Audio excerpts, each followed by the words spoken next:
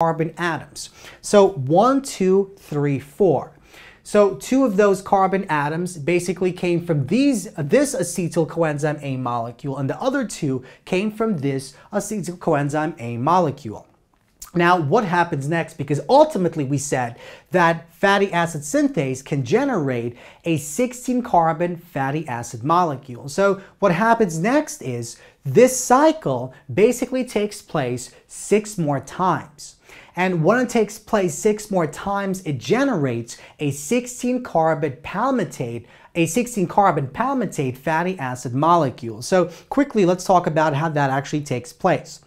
So in the next step, once we generate this, what will happen is this entire group here, this four carbon group will be moved onto this cysteine in the same way that we move this group onto this holding 16 molecules shown here.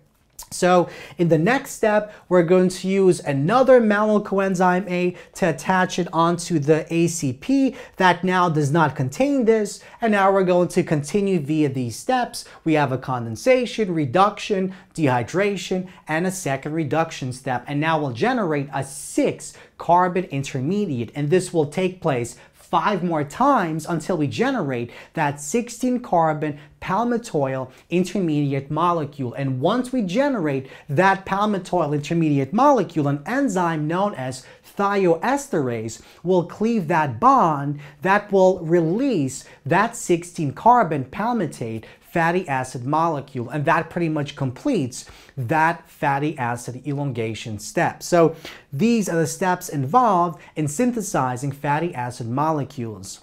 Again, the first elongation step involves steps 1 through step 7, but then these steps from 2 and onward have to take place six more times to actually help us generate that 16 carbon fatty acid molecule that does not contain any double bonds. So it's a fully saturated 16 carbon fatty acid molecule.